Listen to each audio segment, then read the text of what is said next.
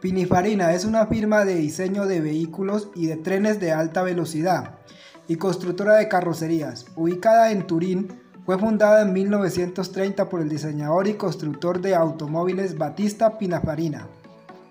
Se trata de un vehículo eléctrico, esta vez de una versión especial del Batista presentado el año pasado, aún más exclusivo y con mejores trazos de diseño que el anterior vehículo presentado en el 2019.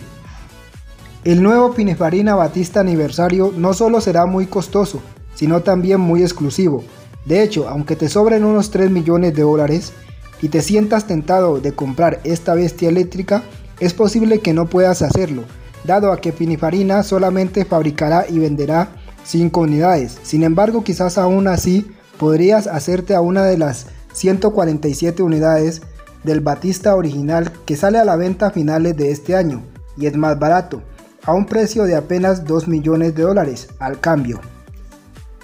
El exclusivo Pininfarina Aniversario mantiene la mayoría de las características de su antecesor, la versión original del Batista, que fue presentada en el 2019. Esto incluye un sistema de cuatro motores eléctricos con una increíble potencia de 1900 caballos, lo que le permite acelerar de 0 a 100 km por hora en poco menos de 2 segundos, según el fabricante de 0 a 300 km por hora en apenas 12 segundos, con una velocidad máxima de 300 km por hora. Las diferencias entre el Batista original y el Batista aniversario se encuentran en el diseño y la aerodinámica.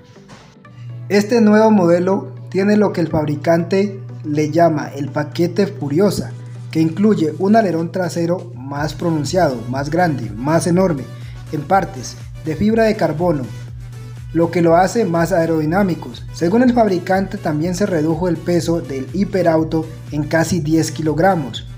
También se lograron hacer sus llantas pasar de 20 pulgadas a 21 pulgadas, lo que lo hace un vehículo con unas llantas más grandes.